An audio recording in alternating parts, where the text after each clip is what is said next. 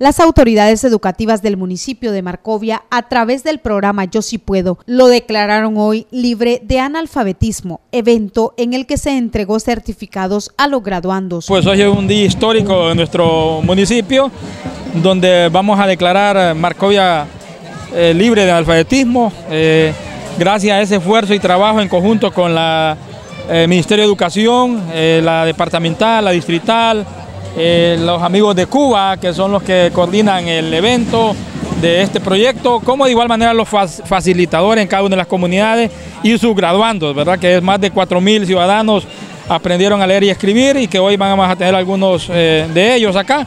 Y eso nos alegra muchísimo porque es parte de ese compromiso de apoyar el tema de educación porque sabemos y estamos convencidos que la educación cambia la vida.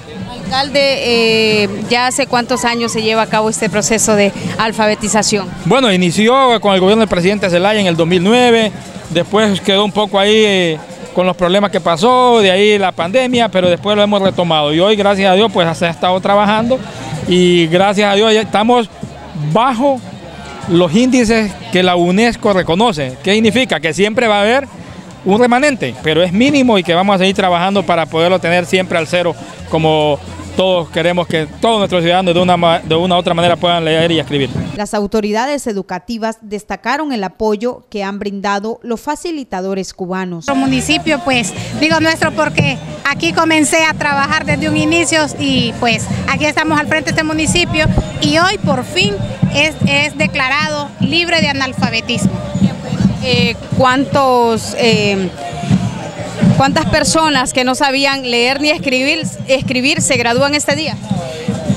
Hoy tenemos solo una pequeña muestra, pero se han graduado más de 4.000 más, más de 4 beneficiarios. ¿Desde que inició el proyecto? Desde que inició, desde que inició y esto pues con, con apoyo de facilitadores que son voluntarios de comunidades, estudiantes del test, estudiantes del test, es mía, estudiantes del test, eh, maestros, directores y pues aquí estamos el día de hoy declarando Marcovia.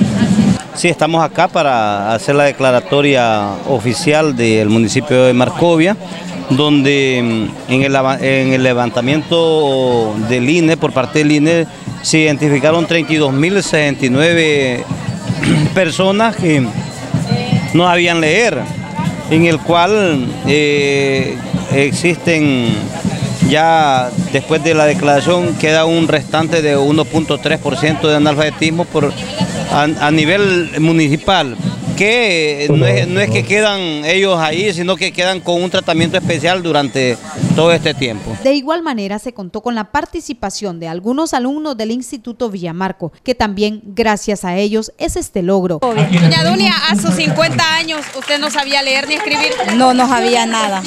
Cuénteme, ¿cómo fue su experiencia? Pues bien, porque llegó ella a enseñarme y sé bastante, aprendí bastante.